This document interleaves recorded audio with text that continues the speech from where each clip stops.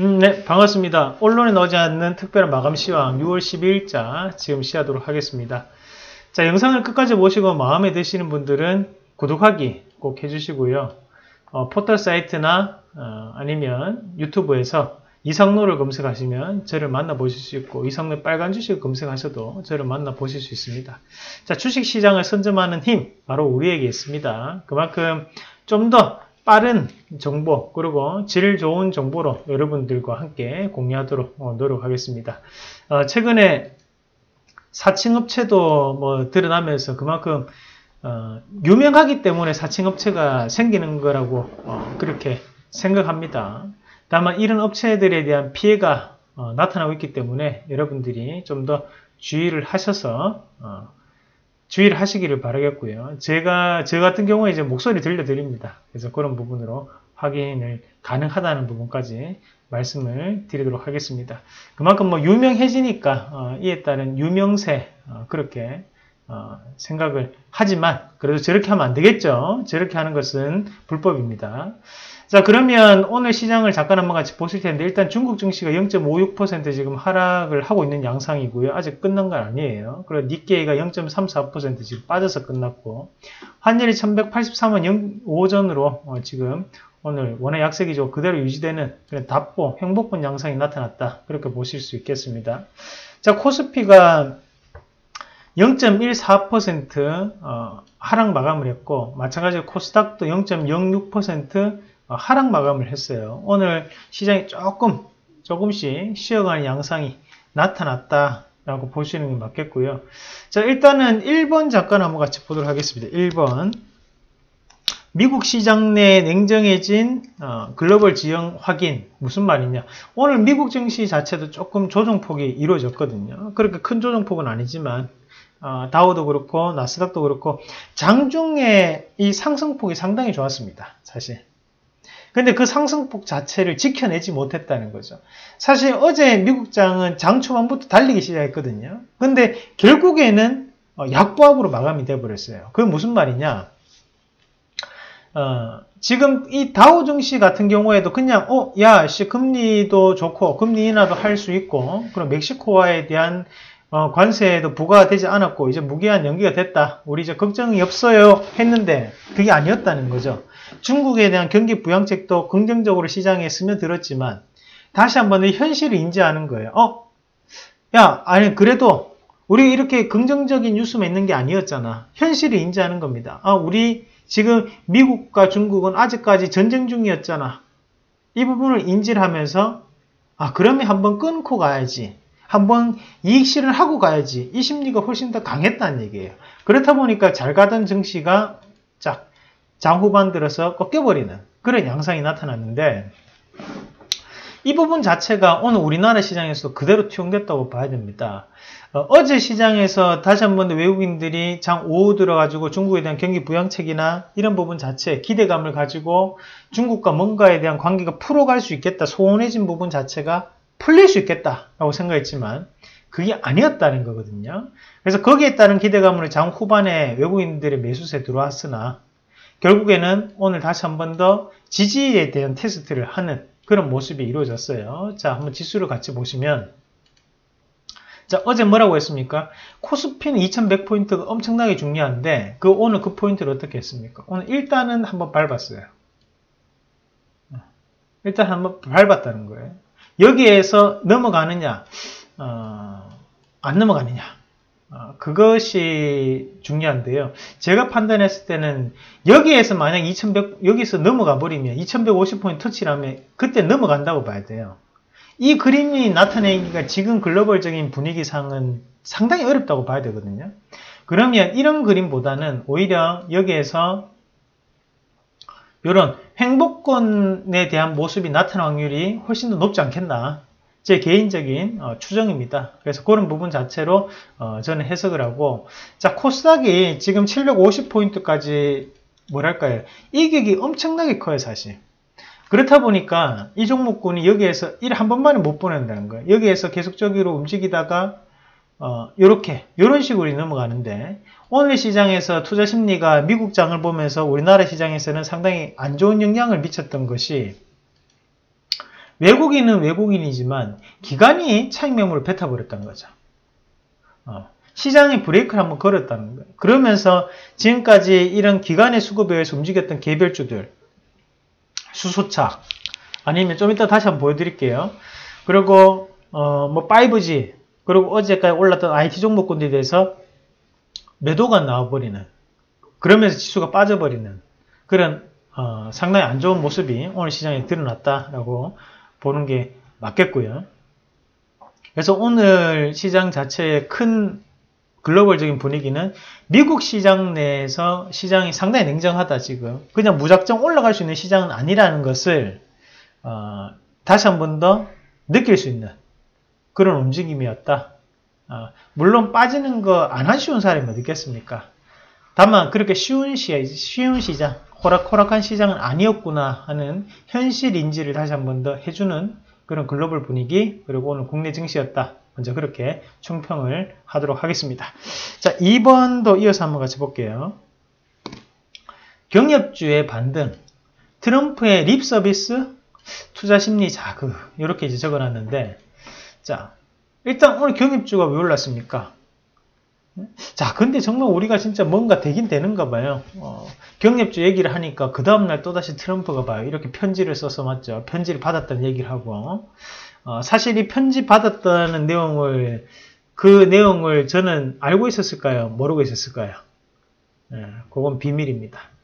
자, 아무튼, 어, 지금 트럼프가 편지를 받았고, 거기에 대해서 편지에 대해서 어떻게 평가했습니까? 아, 김정은에게서 어, 아름답고 따뜻한 편지, 뭐 이런 뉘앙스에 대한 어, 얘기를 했었어요. 그럼 편지를 받았, 친서를 받았다는 얘기를 했습니다. 자, 그러면서 시장은 어떻게 움직였습니까? 경협주에 대해서 다시 한 번 더 오늘 시세를 내는 분위기가 나타났다는 거죠. 어, 제 개인적으로는 이런 트럼프가 뭐랄까요? 과장되게 어, 이렇게 얘기를 하면 항상 찝찝하더라고요. 다만 시장은 여기에 대한 이슈로 이것만을 생각하는 게 아니라는 거죠. 아, 편지를 받았기 때문에 그 다음에는 남북 정상회담이나 한미 정상회담도 자연스럽게 열릴 수 있고 좀 더 나아가서는 북미 정상회담도 다시 한 번 더 열릴 확률이 높아졌구나라는 것까지 방점을 찍어준다. 이 편지 한 개로 인한 나비 효과 그만큼 가버리는 거예요. 벌써 사람들에 대한 투자 심리 그만큼 올라갔다는 거예요. 오늘 시장 자체에 빠져버렸지만 경협주는 반등이 나올 수 있었던 것이 바로 그 때문이거든요. 그 부분 자체에 대해서 우리가 좀 더 포커스를 맞출 필요가 있는 거죠. 자, 그러면 제가 앞서서 얘기를 했던 게 뭐였습니까? 철도라든지 개성공단이라든지 또는 어, 금강산 관광이라든지 이런 분위기 안에서 이 세 개 중에서도 뭔가가 만약 남북 정상회담을 하게 된다면 이 세 개 중에 뭔가 한 개가 뭔가 한 개가 어, 협상되었을 확률이 높다라고 얘기했죠. 지금 미국에 대한 반대로 막혀 있습니다. 하지만 그 한계가 해결되었기 때문에 남북이 만날 수 있다고 봐야 되거든요. 북한이 조건 없이 내려오진 않을 거예요. 그러니까 그 분위기를 봤을 때 지금은 금강산이나 오늘 철도 관련주가 많이 올랐었는데 어, 여기에 대해서 좀 더 관심을 계속적으로 어, 가질 필요가 있어요. 개성문은 마찬가지고요. 이런 분위기가 어, 남북 어, 경협주가 이대로 끝내지는 않을 것이다. 오늘 물론 어, 단기에 이런 트럼프에 대한 편지 이런 것들이 재료가 노출되는 부분은 있지만 주가는 여기서 쉽게 빠지진 않는다. 자, 현대로텐도 어떻게 움직인다 했어요. 결국에는 제가 바닥을 다지고 난 다음에 넘어간다 했죠. 여기서 빡 튀어버리잖아요. 그러면 윗꼬리가 강하게 달렸지만 이게 고가 권역이었으면 아 모든 이익 실현이 낫겠다라고 생각할 수 있는 거지만 저가 권역입니다. 그럼 이거를 고주고대로 이익 실현에 대한 물량으로 보기 힘들어요. 그럼 여기서 또다시 쉬었다가 이런 식으로 이제 또다시 넘어갈 수 있는 여지를 남겨두고 있다. 아, 뭐 그렇게 볼 수 있겠고요. 현대 엘리베이터도 같이 볼게요. 이런 것들도 앞에서 휘청 빠졌고 두 번째 휘청 하고 올라온 거예요. 그러면 차라리 이런 데에서 이제 다시 한번 지지를 받고 이제 받고 넘어갈 수 있는 이런 모습이 나타나는 확률이 훨씬 더 높거든요. 그 부분까지도 어, 감안해서 볼 필요가 있다. 자, 아난티도 볼까요? 음. 그래도 경협주 하면 안 한 티죠. 어, 그만큼 세력들이 한 번만에 못 빠져나갑니다. 사실. 그 다음에 이런 것들도 고가 권역에 요런데 2만원, 2만원짜리까지는 열어놓자. 2만원, 뭐 좀 더 본다면 한 2만 천원까지도 충분히 가능한 자리가 아니겠는가. 어, 그렇게 말씀을 드리도록 하겠습니다. 자, 어, 그리고 이제 3번, 어, 3번 남아 같이 보실 텐데, 어, 자, 코스닥의 양매도, 차익 매물로 인한 조정. 자, 어, 떻게 보면 이제 오늘 시장 자체에서, 어, 코스닥의 시장이 상당히 안 좋았어요, 사실. 음. 종목군들이 이런 하락폭이 상당히 크게 나타났거든요. 최근에 이제 상승폭이 컸던 것만큼 또 하락폭이 더 크게 나타납니다. 말 그대로 급등을 하면 급락이 따라올 수밖에 없어요. 급등의 동생은 급락입니다. 어. 형 먼저, 아 먼저 이런 순위죠. 뭐. 아니면 아 먼저, 형 먼저 이런 것들 항상 붙어 다닌다 생각하셔야 돼요. 어. 뭐 바늘과 실에 대한 관계입니다. 이게 주가라는 게 항상 이제 각에 대한 부분이기 때문에 각을 크게 올린다면 각을 또다시 크게 뺄 수밖에 없고 어, 둔각이 된다면 그때는 둔각으로 받는 거거든요. 이런 식으로. 그래서 이런 부분 자체를 좀 더 기억을 하면서 봤다면 오늘 시장에서 아 기관이 오늘 차익 매물 뱉었기 때문에 어떤 음식이 나타날 수 있겠다를 우리가 좀더 어, 머릿속에 이제 저장이 될 수가 있겠죠. 그래서 이 부분을 볼 필요가 있는데 자 그러면 이런 코스닥의 양매도 이후에 코스닥 시장이 그럼 여기서 가라앉아 버릴 것인가 그러니까 여기서 그냥 퍼져 버릴 것이냐 그렇게 보는 건 또 힘들거든요. 오히려 지금 앞에서 작은 박스권 자체 상단에 터치가 나왔는 상황이기 때문에 다시 한 번 더 이런 이렇게 이런 움직임들 그냥 소폭에 대한 조정은 가능하다. 하지만 이대로 시장이 다시 퍼져버리지는 않는다. 저는 그렇게 봐요. 어, 지금 5월 말부터 시작을 해서 지금 6월 중순 때까지 계속적으로 지금 매수가 들어왔던 게 기간의 매수세였어요. 그러니까 기간도 어느 정도의 차익 매물을 뱉을 수 있는 그런 욕구적인 부분이 분명히 있었을 거라 보거든요. 그러고 난 다음에 또다시 다시 한 번 더 뭔가를 좀 잡아서 가겠죠. 하지만 여기서 100%다 뱉어냈다. 그렇게 보는 건 좀 어렵다는 거죠. 그래서 그런 부분까지도 말씀을 드리면서 우리가 또 한 가지 보셔야 되는 것이 그러면 왜 이렇게 어, 기관이 매도를 하면서 시장이 빠르게 퍼져버리느냐? 결국에는 수급이 상당히 단조로웠다는 거죠. 지금 올라갔던 종목군들이 자, 어디 어디였어요? 이 5G하고 수소차하고 그리고 오일이 반도체 장비주 쪽이 조금 최근 들어 올랐다 그죠? 근데 이런 종목군들 오를 때 어떤 수급이 올렸습니까? 또 기간 수급이 올렸어요. 오늘 수소차를 잠깐 한번 같이 보시면 수급만 보겠습니다. 이엔코리아 수급이 어땠어요? 결국 오늘 팔았던 기간이에요. 기간. 그러니까 여기에서 그러니까 유로순 유로스도 기간이에요. 기간이잖아요. 유니크 기간입니다. JNK 히터 기간이에요. 상업펀드 쪽이죠. 상하프론테크 아, 요거는 매수가 들어왔네. 미코 똑같이 기간이죠. 에코바이오 요거는 이제 수급 약하고 S에너지 어, 이것도 어차피 옆에 있는 수급이 없고 S 어, 그러면 또 뭐 있나 GMB 코리아 자 이런 것들도 이제 뒤에 수급은 약한 거니까 그럼 앞에서 이제 수급이 강하게 이제 세 개 다 들어오는 종목군 종목들을 봤을 때 오늘 기간에 대한 매도가 상당히 오늘도 나타나면서 수차가 빠져버렸다는 것밖에 안 돼요. 어. 그러니까 지금 KMW 오늘 다시 한 번 더 매수를 해줬고 그리고 뭐 삼지전자 이런 거 이런 것도 또 쉬어가는 모습이었는데 여기서 또 기간이잖아요. 사모펀드 계열에서 계속적으로 띕니다 눈에. 어, 결국에는 기간 수급 자체가 오늘 시장에서의 어, 발목을 잡은 형태였고 그것이 어떻게 보면 계속적으로 기간이 매수를 해서 올렸던 종목이 군. 그러니까 너무 단조로운 수급에 의해서 이 기간이 팔았을 때는 뭔가가 또다시 메꿔줄 수 있는 뭔가가 있어줘야 되거든요. 하지만 그 뭔가가 없었기 때문에 종목은 빠져버렸다는 거예요. 그래서 우리가 어, 이 기간 안에서도 이 만약에 투신이 팔았다, 그 연기금이 받아주고, 연기금이 팔았다, 그냥 은행이, 은행권이 받아주고, 뭔가 이렇게 순환매가 돌아가야 되는데, 지금 그런 게 안 이루어진다는 거죠. 수급이 바닥에서 올라오다 보니까 너무나 단조롭고, 그런 단조로운 수급 자체가 오늘에 대한 하락 자체를 그대로 받아들일 수밖에 없었다. 어, 하지만 이런 종목군들이 어, 한 번만에 여기서 이제 죽어버리는 건 아니다는. 그런 부분 저 우리가 기억을 하면서 말씀을 드리도록 하겠습니다. 자, 그리고 다섯 번째, 아, 다섯 번째가 이제 조선의 한근기 다시 시작되나? 라는 제목을 한번 뽑았는데, 자, 오늘 조선업종, 어, 뭐, 현대중공업, 삼성중공업, 대우조선해양, 현대미포즈, 페노션, 뭐, 한국카본, 뭐, 동성하이텍 이렇게 있는데, 자, 한국카본, 이런 기업들이 이제 LNG 본행지 업체입니다. 우리가 여기 조선업체 중에서도 조금 구분을 좀 한번 해볼 줄 알아야 돼요. 현대중공업은 말 그대로 이제 플랜트 산업이라고 해요. 플랜트.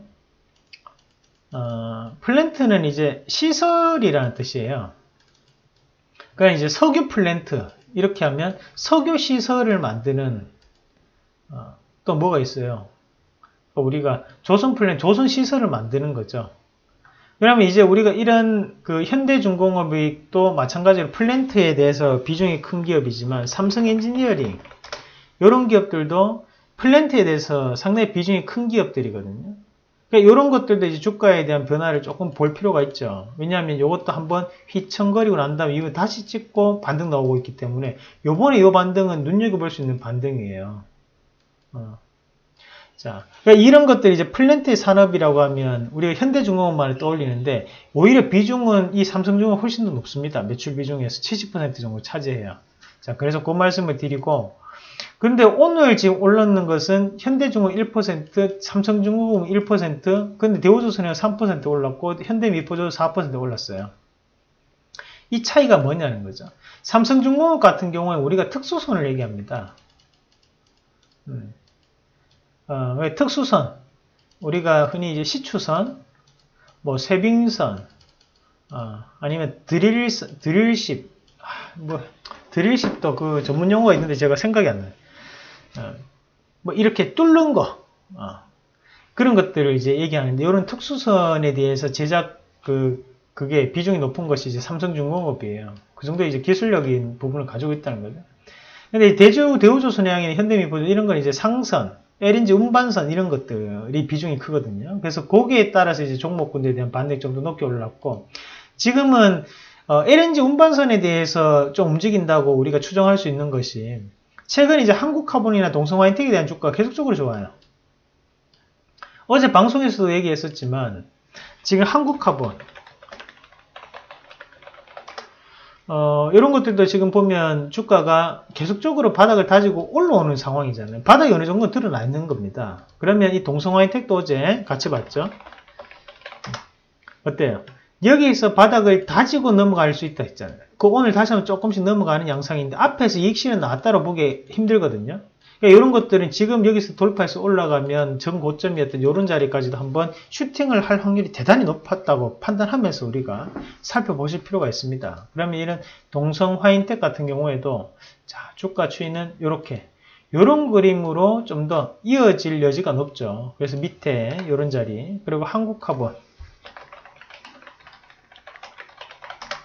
한국화본은 앞에 이런 트리거가 있었기 때문에 이번에 뽑아내면 시세가 꽤 나올 수 있습니다.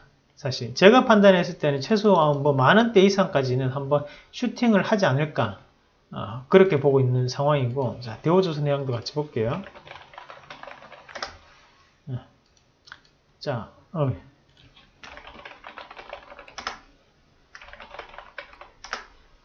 어. 대우조선해양 이런 것들은 이제 어, 뭐 앞에서 어? 합병 관련 얘기가 나오고 뭐 여러 가지 얘기들이 있지만 일단은 그런 부분 자체가 어떻게 됐든 간에 주식 그 입장에서 본다면 어, 체질이 개선되는 겁니다. 어, 그 부분 자체로 우리가 지금 주가는 받아들이고 있다. 어, 그렇게 볼 필요가 있겠습니다. 그래서 제가 판단했을 때는 어차피 이런 조선업종이 수주를 받고 난 다음에 실질적으로 이제 건조하는 데까지 건조가 시작되는 데까지 걸리는 시간이 1년에서 1년 반, 길게는 2년 정도까지도 걸립니다. 그러니까 지금 수주를 받는다고 해서 이걸 곧장 찍어내는 게 아니에요. 받아가지고 계획하고 난 다음에 1년, 1년 반 정도 있다가 이제 시작이 되는 거예요. 그 부분을 고려한다면 우리가 한국카본이나 동성화인테 이런 데에 대한 수준은 금방금방 발주가 금방금방 나올 수밖에 없거든요. 저는 차라리 여기 안에서는 어, 이런 LNG 본행제 관련된 업체들을 좀 더 보는 게 훨씬 더 낫지 않나라는 말씀까지 드리도록 하겠습니다. 사실 우리가 조선주라는 것이 바닥을 오랫동안 지금 현재까지 다져왔기 때문에 엉덩이가 엄청 무겁습니다, 사실. 어. 이 저런 종목군들을 한번 사면 이제 세월이 많이 가요. 이게 주식을 하다 보면 시간이 금방금방 가버리거든요. 어, 그러니까 저런 종목군이 나쁘다는 게 아니고, 어, 와, 우리 사실 그렇잖아 요. 우리 제가 고객분들 대하다 보면, 어, 일주일 보유했는데도 막 그때부터 막 힘들다 막 하면서 막 불평, 불만을 다 쏟아내는 분들도 계십니다. 제가 지금 이렇게 이제 전문가 한그한 10년째인데, 보면, 어, 이 참을성이 없으신 분들이 생각보다 많으세요. 네. 그러면서 본인이 생각할 때는 아 나는 어, 일주도 장기라고 봐. 아니 그러면 한 달은 뭔데? 네? 그러면서 이게 사람마다 시각이 다를 수 있대. 아니 다물 누구한테 다 물어봐. 일주일이 장기라고 보는 사람이 이상한 거지. 그거를 단기라고 다들 생각하지. 일주일이 장기라고 생각하는 사람이 어디 있어? 네? 그걸 네? 그냥 웃고 넘겼는데 그만큼 이제 우리가 어, 이런 저런 조선주를 이제 잘못 선택을 해버리면 시간이 엄청 오래 흘러갑니다. 어, 그래서 차라리 저는 그래서 여러분들이 조금은 시간을 최대한 절약하면서 매매할 수 있는 것은 한국카본이나 동성화인테 이쪽을 보는 것이 훨씬 더 낫다. 어, 이렇게 조언을 드립니다. 그래서 조선업종 자체는 어, 우리가 바닥을 지금 현재 지나가고 있는 거예요. 바닥에서 갑작스럽게 주가가 이렇게 팍 뛰지 않거든요. 바닥이라는 것은 이렇게 이제 서서히 이제 바닥이기 때문에 가게 죽었어요. 바닥이기 때문에 이런 가게 안 나옵니다. 바닥이라는 것은 바닥을 이렇게 이제 확인하는 거죠. 이렇게. 음, 계속 이렇게 이제 확인해 보는 거예요. 이런 식으로 해서 이렇게 넘어요. 그러니까 지금은 조선업종 한저 정도 지나고 있는 것 같아요. 제가 볼 때는. 여기나 여기 정도. 어. 그래서 이런 흐름 자체가 이제 고가권 넘어갈 수 이제 그 흐름이 올라가는 거지. 이런 기간이 이런 것들이 한 최소 2년에 3년 정도 걸리거든요.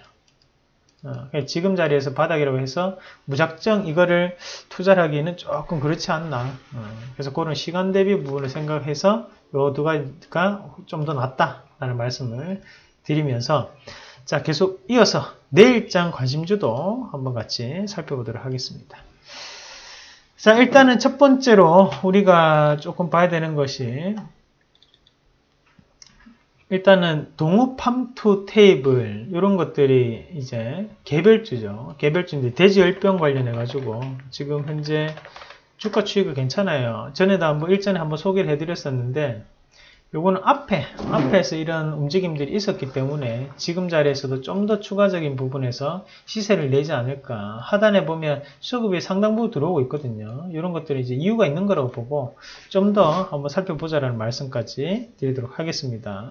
시장이 지금은 조금 조정 장세가 다면 다시 한번 또 대지열병에 대한 얘기 나올 수 있거든요. 오늘 북한에서 공식적으로 어, 이 대지열병을 언급했다. 라는 이슈가 되었는데 주가는 크게 움직임이 없었어요.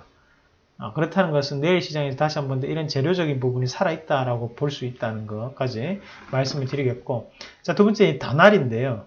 다날이 사실 이제 간편결제 기업인 기업, 피지 기업이기도 합니다.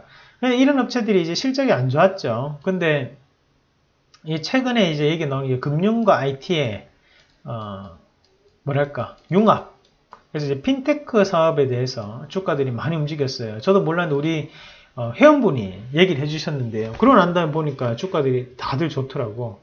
예, 보면 이제 웹캐시나 뭐 주도주가 또는 도전 비존이나 이런 것들이 주가가 상당히 좋았죠. 많이 올랐어요. 최근에도 어, 웹캐시도 그렇고 그리고 또 뭐 SBI 어, 핀테크 솔루션 이런 것도 이제 주가가 좋았고 또 뭐가 있었나? 어, 뭐 아무튼 간편 결제 아, 나이스 정보 평 나이스 어, 평가 정보였나? 아, 나이스 D&B 말고 나이스 정보통신 어, 뭐, 아니었는데 자 아무튼 그래서 간편 결제 또는 핀테크에 대해서 지금 주가들이 움직이 좀 나타나고 있는데 이런 단월 같은 경우에 현재 바닥에서 이제 넘어가는 과정들이기 때문에 그런 걸로 조금은 곁다리에서 좀 붙일 수 있거든요. 그래서 그런 부분으로 같이 한번 살펴보자. 자 그리고 세코닉스하고 미스터블 미스터블루부터 보겠습니다. 어, 요거는 이제 앞에 DNC 미디어라고 해서 어, 우리가 이런 DNC 미디어는 에, 카카오 소설, 그러니까 인터넷으로 보는 소설책이라고 생각하시면 돼요. 어, 이런 업체들이 이제 나이가 조금 있으신 분들은 아유 그런 거를 허, 책으로 옛날에 무협지 막 빌려가지고 집에서 쌓아놓고 제 아버지 그래 보셨거든요. 막 그렇게 봐야 되는 거 아닌가 생각하시는데 그런 개념을 생각하시면 됩니다. 그거를 이제 인터넷으로 어, 휴대폰을 다운받아서 보는 개념인데 어, 이런 업체들이 이제 주가가 좋았죠. 그리고 이제 저작권이라든지 이런 부분, 이제 불법 복제에 대한 부분 자체를 최근에 이제 상당 부분 단속을 하고 있습니다. 그렇다 보니까 실적이 조금씩 늘어난 구조를 많이들 보이는데요. 이 미스터 블루라는 기업은 웹툰 업체예요. 한마디로 웹툰은 옛날에 만화책 업체. 그렇게 생각하시면 돼요. 만화방이 요즘 다 죽었죠. 그것이 결국에는 이런 인터넷으로 볼 수 있는 만화가 많이 늘어났기 때문인데 자, 이런 업체들 자체가 지금 현재 바닥을 다지고 난 다음에 지금 주가를 뽑아내고 있는 과정들이거든요. 앞서서도 얘기했지만 주가라는 것이 바닥을 다지고 난 다음에 이런 식으로 이렇게 이제 흘러가게 돼요. 그러면 이것도 지금 바닥에서 이렇게 이제 움직이다가 각을 넓혀서 이렇게 이렇게 이제 조금씩 각을 어떻게 이렇게 조금 피고 있죠. 이런 과정을 본다면 위에 있던 이런 매물대까지도 슈팅이 나오지 않을까 어, 그렇게 보고 여기에 대해서 관심을 가지자 실적이 점점 좋아지고 있는 과정이다 말씀을 드리겠고요 세코닉스 보겠습니다 어, 이 세코닉스라는 업체가 이제 렌즈 모듈 업체입니다 그러면 뭐 우리가 블랙박스라든지 어, 블랙박스에도 많이 쓰고 어, 그런데 이런 업체들 자체가 현재는 이제 주가가 다시 한번 돌아서는 과정들이 나타나고 있고 그래서 이 업체가 원래 자화전자하고 이제 분쟁이 있었어요.